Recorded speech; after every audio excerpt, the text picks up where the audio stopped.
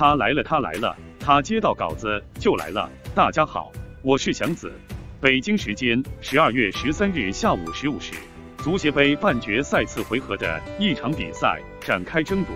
山东鲁能队对阵武汉卓尔队，最终山东鲁能一比零小胜武汉卓尔，以两回合六至零的比分晋级决赛。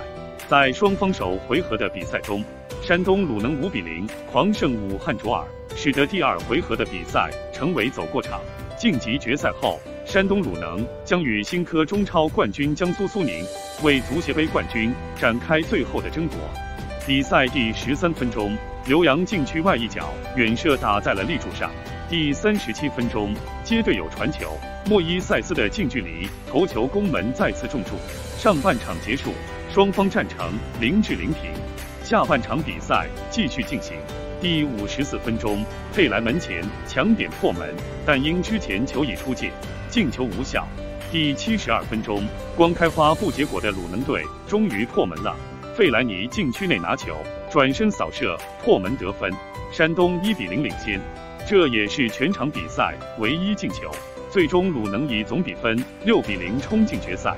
虽然只是一比零小胜，还是令专程赶往现场的几百球迷们乐开了花。虽然比分不大，但鲁能球员们，包括外援在内，踢得非常努力，围着卓尔的球门狂轰乱炸。要不是董春雨发挥神勇，而且鲁能还有几次中柱，本场比赛可能又是一个大比分。鲁能的前场外援们进球的愿望都非常强烈，但本场比赛幸运之神青睐了费莱尼。赛后，球迷们也纷纷调侃着表示，每当佩莱拼命想要进球时，最后进球的一定是费兰尼。由于双方实力悬殊实在太大，基本是鲁能围在卓尔的半场进行着进攻演练。全场数据方面，鲁能占尽了优势，射门次数鲁能二十四对二，射正次数十二对零，基本上卓尔冲进鲁能半场的机会寥寥无几。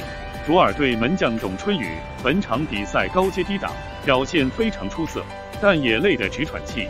在这样的一场比赛中，董春雨无疑是全场最紧张的一个人。相反，鲁能队门将王大雷却是最清闲的一个人。他独自一人站在后场观看了一场比赛，估计快要冻僵了。赛后接受媒体采访时，王大雷也表示。对于他来说，本场比赛最大感受就是有点冷。And，他走了，他走了。右下角点个赞，再走啊，老板。